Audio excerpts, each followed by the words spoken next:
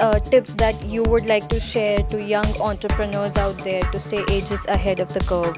First is obviously understand the macro trends which are going into the market. For example, AI and deep learning is one of the biggest macro trends for the coming decade.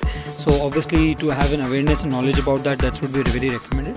Second is uh, core specialization uh, because uh, both the sectors, even deep learning and AI, are uh, very well, uh, I would say, massive. So it's very important to remain core specialized in a particular sector that will help them to gain an edge over the other competitors in the in the market.